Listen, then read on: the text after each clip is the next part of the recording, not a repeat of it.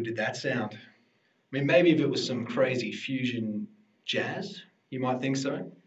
But to me, it sounds like this guitar is out of tune, which it is.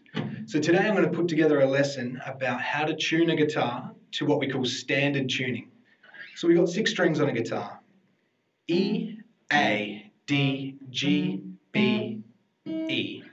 The way that I remember it when I was going through school, we had um, a little thing to help us remember it. It was every American dad goes bowling eventually.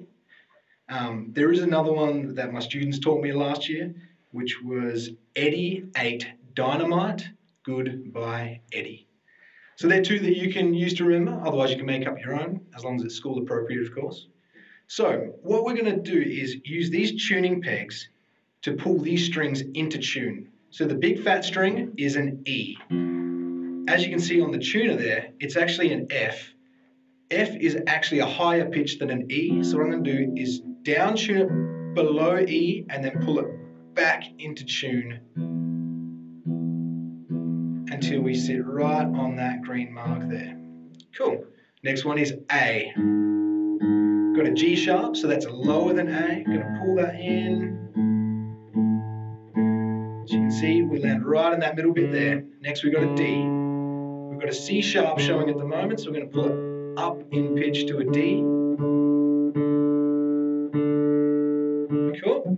Okay, this one should be G. We've got an F sharp. We're going to pull it up to G.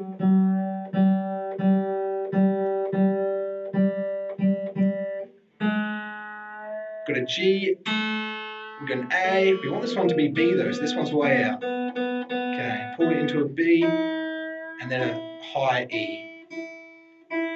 Just do a quick check through those because when you've got a, a badly out of tune guitar, it takes a couple of passes through just to get it bang on tune.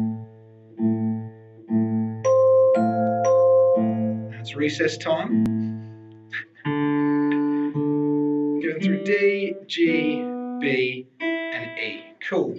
Ooh, one more check. So what we want to do is always be checking our tuning because your guitars can go out of tune quite easily. And no one wants to play an out of tune guitar, especially no one wants to listen to them. That sounds better.